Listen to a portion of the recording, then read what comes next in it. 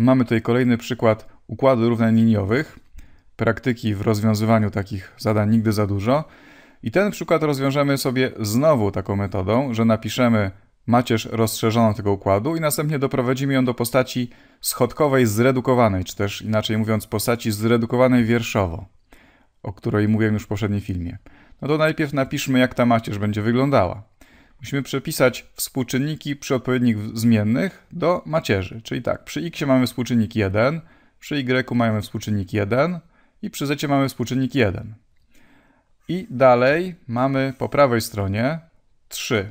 To jest macierz rozszerzona, czyli tutaj piszę taką kreskę, żeby oddzielić te współczynniki od tego współczynnika, który stoi tutaj po prawej stronie. W drugim równaniu przy x mamy 1, przy y mamy 2, przy z mamy 3. Po prawej stronie 0. I w trzecim równaniu przy x mamy 1, przy y mamy 3, przy z mamy 4, a po prawej stronie minus 2. Więc zapisaliśmy sobie układ równań za pomocą macierzy rozszerzonej tego układu równań. No i teraz tę macierz zredukujemy. Wiemy, że możemy wykonywać operacje na wierszach tej macierzy, które odpowiadają dokładnie operacjom na równaniach. Możemy na przykład równanie pomnożyć przez liczbę, tak samo możemy wiersz pomnożyć przez liczbę. Możemy równania dodać do siebie stronami, tak samo możemy wiersze do siebie dodawać i tak dalej. No to chcemy teraz doprowadzić do postaci schodkowej zredukowanej, czyli na przykład chcemy w szczególności mieć tutaj jedynkę, ale tutaj pod tą jedynką chcemy mieć same zera. Czyli jak to zrobimy? Zaczniemy od tego, że przepiszemy sobie pierwszy wiersz, który nie będzie się zmieniał. Następnie jakieś wielokrotności tego wiersza dodamy do wiersza drugiego i trzeciego i zastąpimy drugi i trzeci tymi sumami, tak żeby tutaj dostać 0. Tutaj piszę taką falkę, to oznacza, że te macierze są równoważne, w tym sensie, że opisują ten sam zbiór rozwiązań. Czyli to są równoważne sobie układy równań. Czyli, żeby tutaj dostać 0, to muszę od tego wiersza po prostu odjąć pierwszy wiersz. Ja może napiszę, że od drugiego wiersza odejmę wiersz pierwszy. Czyli będę miał tutaj tak, może to już innym kolorem napiszę. Będę miał tutaj 0. 2 odjąć 1 to będzie 1. 3 odjąć 1 to będzie 2. 0 odjąć 3 to jest minus 3. Od, pierwszy, od drugiego wiersza odjąłem pierwszy. Teraz, co tutaj zrobię? No tutaj też chcę mieć 0, czyli od trzeciego wiersza też odejmę wiersz pierwszy i wtedy tutaj dostanę 0. Teraz tutaj mam 3 odjąć 1, to będzie 2. 4 odjąć 1 to będzie 3. I minus 2 odjąć 3 to będzie minus 5. Dobrze. No i teraz ta macierz będzie równoważna następnej macierzy. Tylko co zrobimy w drugim kroku? No tutaj już mamy taką sytuację, że mamy w pierwszej kolumnie tylko jeden niezerowy element, tę jedynkę tutaj, to jest element wiodący, on jest jedynym niezerowym w swojej kolumnie, czyli tak jak trzeba. Teraz chcemy mieć w drugim wierszu też taki element i to będzie ten. Ten uczynimy jedynym niezerowym w swojej kolumnie, po prostu dodając wielokrotności teraz drugiego wiersza do pozostałych dwóch. Tutaj nam się nic nie, nie zepsuje w pierwszej kolumnie, dlatego że tutaj są zera. Więc mamy to zagwarantowane, że tutaj już się nic nie popsuje, a tutaj możemy wyzerować ten element i ten element.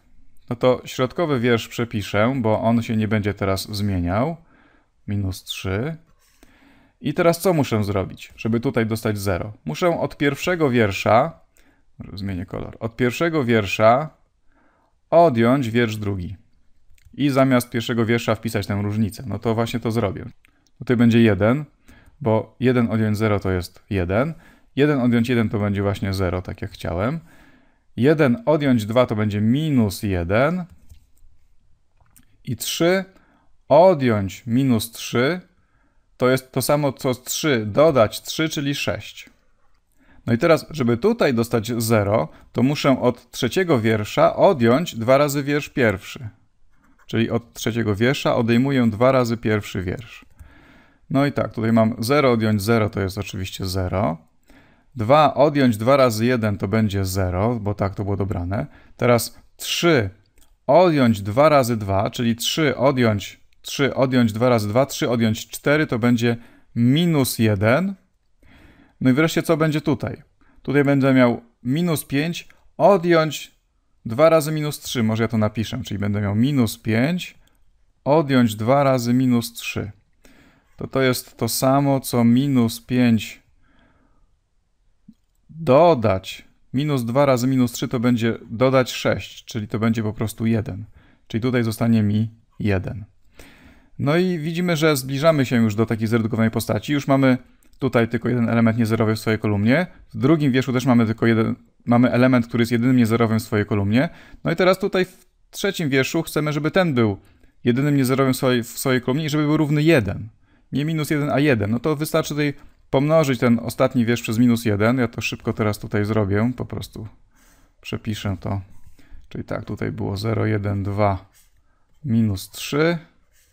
A tutaj mieliśmy 1, 0, minus 1, 6.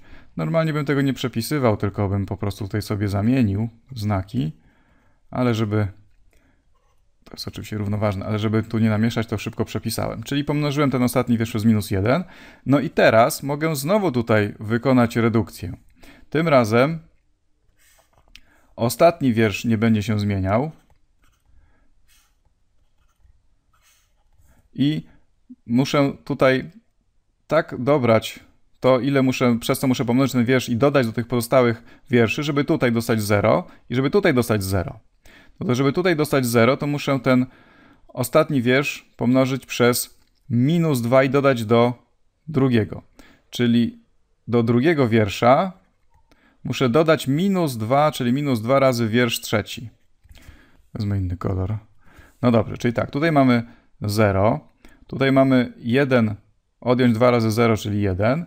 Tutaj mamy 2 odjąć 2 razy 1, czyli 0. Tak to było dobrane, żeby tu wyszło 0. A teraz tutaj mamy minus 3 odjąć 2 razy minus 1, czyli mamy minus 3, może tu napiszę sobie minus 3, odjąć 2 razy minus 1. To będzie minus 3, minus 2 razy minus 1 to będzie dodać 2, czyli to będzie po prostu minus 1. Czyli tu nam wyjdzie minus 1. No i wreszcie tutaj co musimy zrobić? Tutaj musimy po prostu do pierwszego wiersza dodać ten trzeci, wtedy tutaj dostaniemy 0, czyli do pierwszego wiersza dodamy wiersz trzeci. Tutaj będzie bez zmian 1, tu bez zmian 0, tutaj będzie 0, a tu będziemy mieli 6 odjąć 1, czyli 5. No i już, mam macierz schodkową. Widzimy, ona jest schodkowa. Tutaj wszędzie poniżej diagonali są zera, ale jest również zredukowana, dlatego że każdy ten element wiodący jest jedynym niezerowym w swojej kolumnie. No i zobaczmy, że w zasadzie poza tymi elementami wiodącymi nie mamy żadnych innych niezerowych elementów. Po prostu mamy tylko trzy jedynki, każda jest w innym wierszu i w innej kolumnie. I to nam po prostu umożliwia odczytanie, jakie jest rozwiązanie tego układu równań. No jak się o tym przekonać? No zobaczmy. Bo możemy zapisać znowu to w takim języku układów równań tutaj. Po prostu wiemy, że te współczynniki odpowiadają pewnym współczynnikom w układzie równań. Wiemy, że jedynka jest przy x, czyli mamy, mamy 1 razy x, dodać 0 razy y, dodać 0 razy z równa się 5. To, I to jest to pierwsze równanie tutaj, przepisałem teraz. Dalej przepiszę drugie równanie. Mam 0 razy x, dodać 1 razy y, dodać 0 razy z równa się minus 1. No i wreszcie trzecie równanie. Mam 0 razy x, dodać 0 razy y, dodać 1 razy z równa się minus 1. Tutaj napisałem tak, żeby widać było, że te współczynniki, tutaj te jedynki odpowiadają tym zmiennym. Mógłbym po prostu napisać to obok znaku równa się i mamy rozwiązanie. x równa się 5, y równa się minus 1, z równa się minus 1. Jak ktoś nie wierzy, to może sobie wstawić te wartości i sprawdzić, że one spełniają układ równań. Ale widzimy właśnie, że tutaj taka redukcja wierszowa, czyli sprowadzanie za pomocą operacji na wierszach rozszerzonej macierzy układu równań do postaci schodkowej zredukowanej umożliwia nam w tym wypadku po prostu rozwiązanie układu równań, no bo tutaj mamy akurat taki układ równań, który ma jednoznaczne rozwiązanie i w tej sytuacji ta metoda pozwala nam to rozwiązanie znaleźć. I warto może jeszcze raz podkreślić na zakończenie, że te operacje, które tutaj wykonywaliśmy na wierszach tej macierzy rozszerzonej, żeby doprowadzić ją do tej postaci, to one odpowiadają dokładnie dodawaniu do siebie równań stronami, czy też mnożeniu równań stronami przez jakieś liczby, tylko że zamiast przepisywać całe te równania z y, xami i zami, to zajmujemy się tylko tymi współczynnikami, które zapisujemy w postaci macierzy i potem wykonujemy operację na wierszach macierzy zamiast na równaniach, ale to jest dokładnie to samo. Tylko ten zapis za pomocą macierzy jest po prostu bardziej ekonomiczny. Nie musimy przepisywać w kółko tych zmiennych.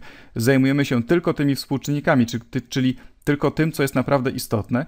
No i dostajemy rozwiązanie układu równań, które tutaj po prostu możemy prze przeczytać. x równa się 5, y równa się minus 1, z równa się minus 1.